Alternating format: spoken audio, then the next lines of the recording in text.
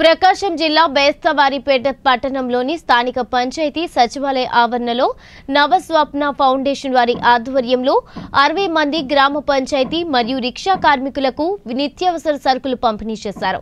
ఈ కార్యక్రమానికి ముఖ్య అతిథులుగా బేత్సవారిపేట ఎస్ఐ రవీంద్రరెడ్డి తిరుపతయ్య గౌడ్ పాల్గొని నిత్యావసర వస్తువులు పంపిణీ చేశారు. ఈ సందర్భంగా ఎస్ఐ రవీంద్రారెడ్డి మాట్లాడుతూ కరోనా వైరస్ కారణంగా కేంద్ర రాష్ట్ర ప్రభుత్వాలు విధించిన లాక్డౌన్ కారణంగా పేద ప్రజలు ఇబ్బందులు పడుతున్నారని అలాంటి వారికి నవస్వప్న ఫౌండేషన్ యూత్ చేస్తున్న కార్యక్రమంలో అభినందనీయమని ఇంకా ఇలాంటి కార్యక్రమాలు ఎన్నో నిర్వహించాలన్నారు. అలాగే కర్నూలులో విద్యా సంస్థల అధినేత తిరుపతయ్య గౌడ్ మాట్లాడుతూ స్వచ్ఛంద సేవా సంస్థలు ఇలాంటి విపత్కర పరిస్థితుల్లో ఒక్కొక్కరికి ఐదు వందల రూపాయలు విలువ చేసే సరుకులు పంపిణీ చేయడం హర్షణీయమన్నారు.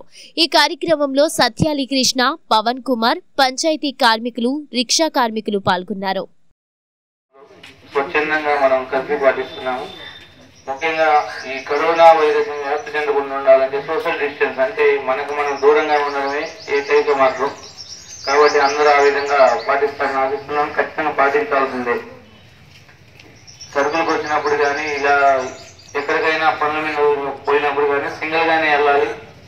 సింగిల్గానే మనం ఏ పనైనా చూసుకొని రావాలి. ఆ పోయేటప్పుడు ఖచ్చితంగా దూరం పాటించాలి. మాస్కులు కానీ ఖచ్చితంగా కట్టుకోవాలి. అది కర్ఫ్యూ పని ఏదైనా కానీ ఖచ్చితంగా కట్టుకోవాలి. అదేవిధంగా ఈ కర్ఫ్యూలో కొన్ని ఇబ్బందులు ఉంటాయి. ఈ పరిశుద్ధ రోజు రోజువారీ కూలీలు కానీ వాళ్ళు ఇబ్బంది పడుకునే ఉద్దేశంతో న్యూస్ స్వప్న ఫౌండేషన్ వారు ఈ విధంగా మనకి మీకు ఈ సరుకులన్నీ ఇవ్వడం జరుగుతుంది. ఇది చాలా ప్రశంసనీయం అభినందనీయం కూడా. ఎందుకంటే వాళ్ళ ఆకలి తీసిన వాళ్ళు అవుతారు. ఈ కష్ట సమయంలో ఖచ్చితంగా నిర్భయంగా ఉండాలి. అదేవిధంగా ఖచ్చితంగా పాటించాలి.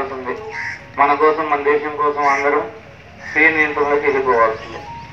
అందరూ స్వీయ నియంత్రణ పాటిస్తున్నందుకు దేశాలు కూడా మనకు తెలియజేసుకుంటూ అదేవిధంగా సో న్యూస్ స్వప్న ఫౌండేషన్ వారికి ధన్యవాదాలు.